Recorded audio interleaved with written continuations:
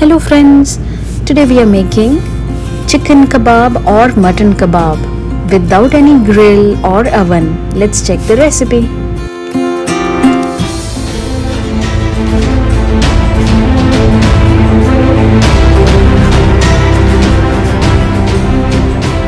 Hello friends, welcome to my channel Fat to Fitness. This is Sobhagya. So today we are going to check out another healthy recipe chicken kebab or mutton kebab without any oven or grill. Okay, let's check it out.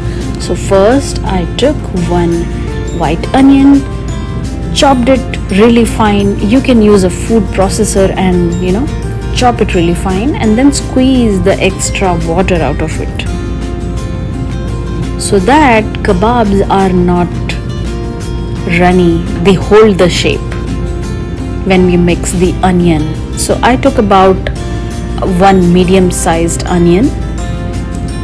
You can take any white yellow or red.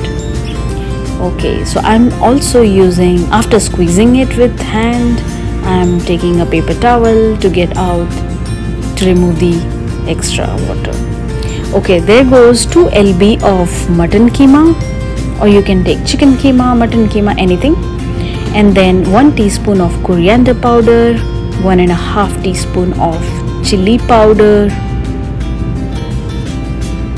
then turmeric half teaspoon salt as per taste about half a teaspoon.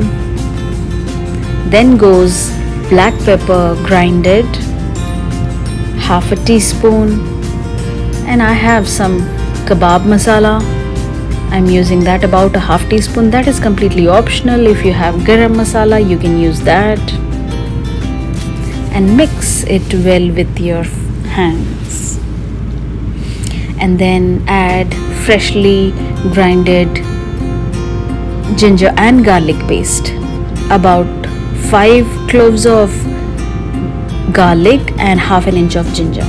After mixing everything, make small patties and put it on the griddle on medium low flame.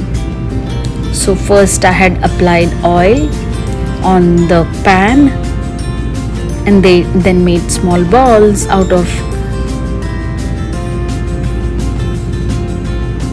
yeah the keema something like this and tapped it you can make any shape any desired shape that you like so slightly tapped it. Apply little bit of oil on top just for greasing.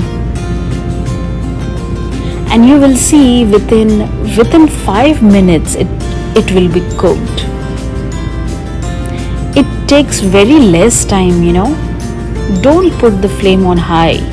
Let it be on medium low. And after a minute or so just flip it over it is so easy to make super easy you don't need any oven or grill you can you know make it on your pan your roti pan or any tawa and simple ingredients and yet super tasty. Definitely give it a try. And within less than 5 minutes, the mutton kebab or chicken kebabs will be ready to serve.